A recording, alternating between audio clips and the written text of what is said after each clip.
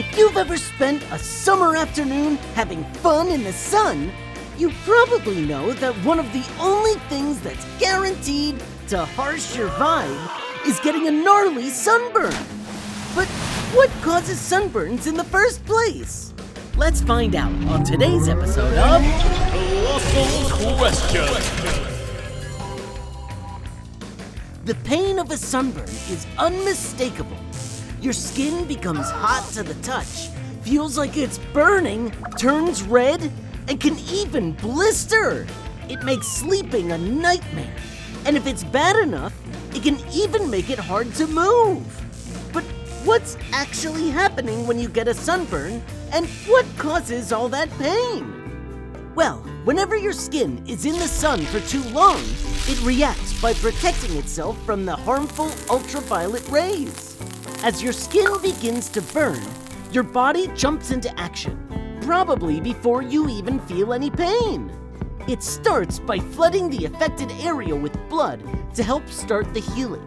This is part of what causes that lobster red look of someone with a mean sunburn. If the sunburn is severe, there might be swelling too, or even blisters if it's really bad. While painful, all of these processes are actually just your body trying to heal your skin. A few days later, a layer of dead skin cells will start peeling off the burned area. This is your body's way of killing off any cells that might have been mutated by the sun's harmful rays. All that peeling skin is just another defense mechanism to keep you safe. But you can't always catch every single mutated cell, and that's why it's super important to be careful in the sun and make sure you take the right precautions.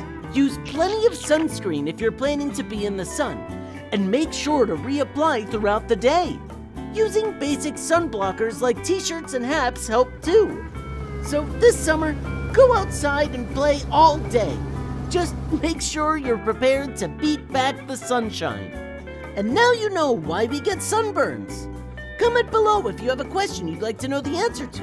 And remember to subscribe for more episodes of Colossal Questions.